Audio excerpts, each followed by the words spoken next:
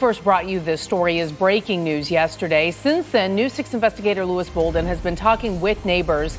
Louis, what are they saying about this 16 year old's death? Well, Lisa, obviously they're saying that this is a tragic situation. Right behind me, you can see that the fence is knocked down after the car crashed into it. And this afternoon, we've learned the teenager who was killed inside was a junior at Jones High School.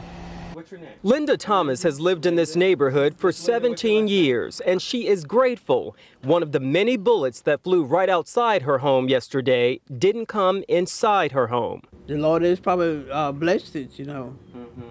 I'm surprised my car didn't get hit. Neither that white car was sitting out there. Thomas said she heard the bullets as rounds were fired just outside her door. It was like a pop, pop, pop. In the end, police say 16-year-old Denham Williams was killed. Neighbors say he was sitting in the front seat of this vehicle that was riddled with bullets. Thomas says she watched him grow up in the neighborhood. Yeah, it's heartbreaking. Orlando police are still trying to figure out what happened and why it happened. Thomas says seeing children die is heartbreaking in any neighborhood, but she says it's much bigger than a neighborhood problem. I want you to remember when they took prayer out of school